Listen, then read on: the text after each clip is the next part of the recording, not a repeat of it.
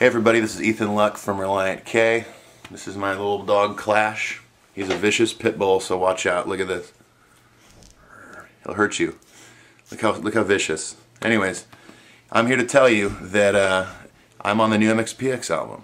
I uh, was asked by Mike to record a solo on Somebody to Love by Queen, and I'm very excited. Hope you guys enjoy it.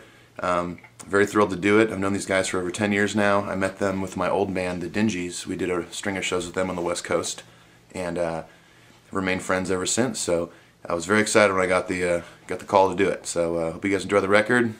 Buy it when it comes out, or else my dog will attack you.